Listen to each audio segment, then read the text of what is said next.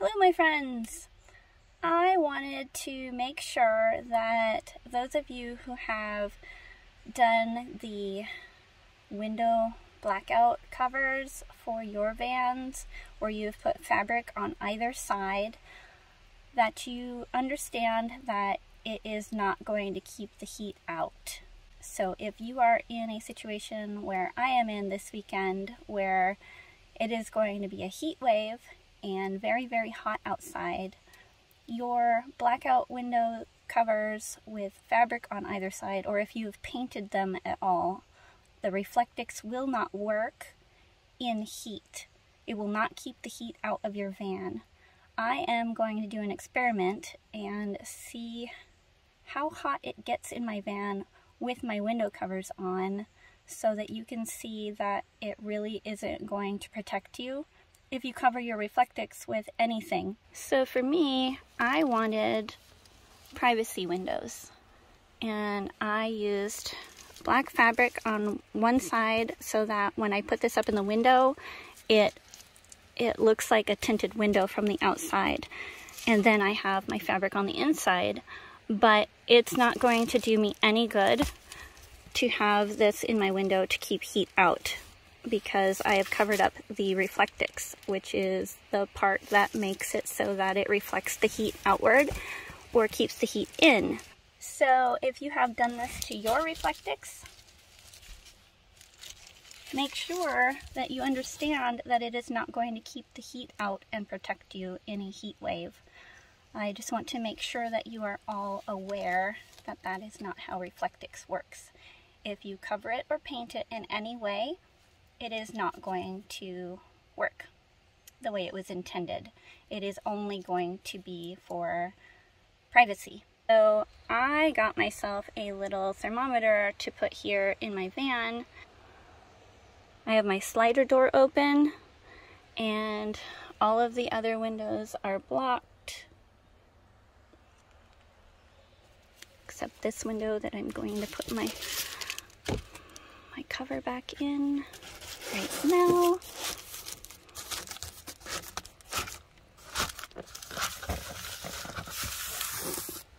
And with the door open on the side, it is already 89 degrees in here. I'm going to come back out in a half an hour and then an hour and see how hot it is getting in my van with my Reflectix window covers covered up so that you don't end up sleeping in an easy bake oven.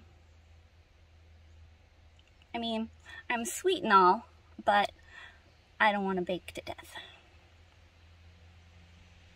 All right, see you back in a minute, or 30. Woo! I came back out after 30 minutes of putting all of my blackout blinds in and it is rather toasty in here. It is jumped up by 15 degrees in 30 minutes and it is now a toasty 105 in here. It's getting hot in here, so take off all your clothes. Maybe not. That's that's a different video for a different time. I'll be back in 30 minutes with clothes on.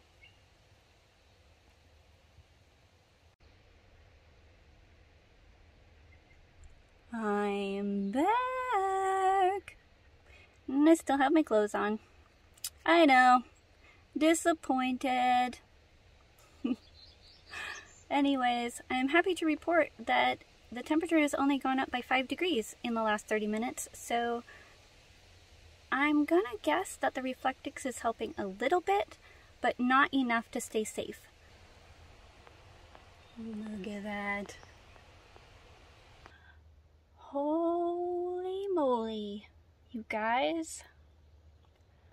I decided I was going to expand my experiment and see what would happen if I left my van closed up with my blackout window covers up through the hottest part of the day and see what would happen. And I have a big reality check smacking me in the face along with this massive amount of heat radiating off the pavement.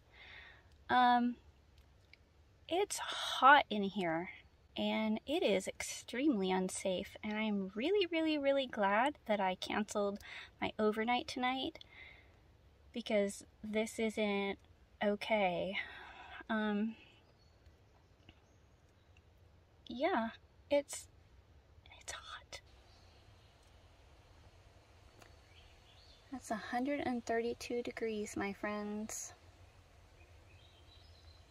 If you want to actually keep the heat out of your van in a heat wave, you are going to have to make sure that it has no fabric and no paint.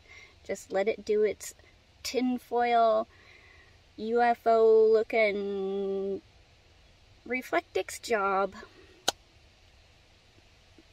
Nice and naked without any decoration or fabric which I wish I could be doing right now, but that's a different platform and not appropriate for YouTube. Hmm. Anyways, thank you for following along and subscribing. Please leave me comments, say hello, share your experiences. I love to interact with people. And, um, yeah. You know what time it is. Dance, dance, dance, dance, dance, dance, dance, dance, dance. And wear deodorant. Stay weird, friends. And hygienic.